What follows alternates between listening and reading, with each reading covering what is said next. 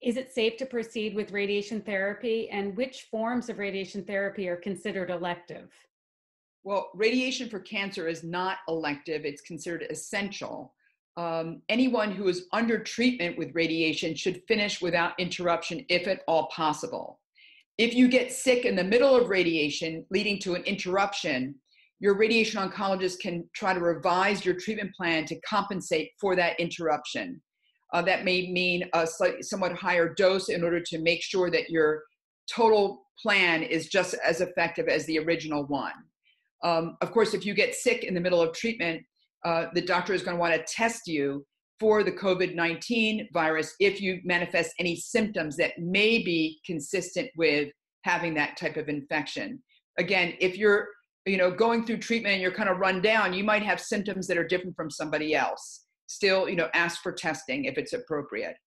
Anyone who has not yet started radiation therapy can talk to your doctor regarding a possible delay. For example, you could consider, can consider delaying the start of radiation for an early stage breast cancer like DCIS or intraductal carcinoma, but still come up with a plan for starting in a month or so, which will help you ease your anxiety about sort of waiting and dreading what's on the horizon.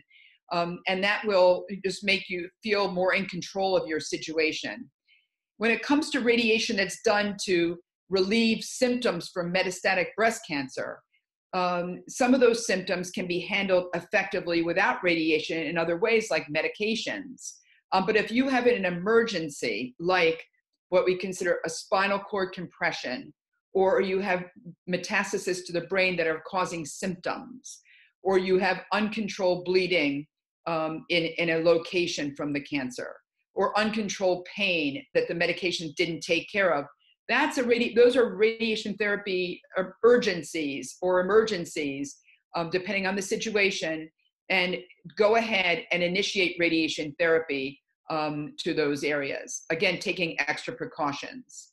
I would also just add to that that if you get sick in the in the middle of radiation ask your doctor for expedited testing for the covid-19 uh, virus um, so that you're so that you get the answer to the test as quickly as possible to minimize the interruption of your treatment. I just had a patient who had that situation. Her test went into the same category as a doctor or a nurse because we didn't want to interrupt her treatment any longer than possible. And it turns out her test was negative and she got back under treatment.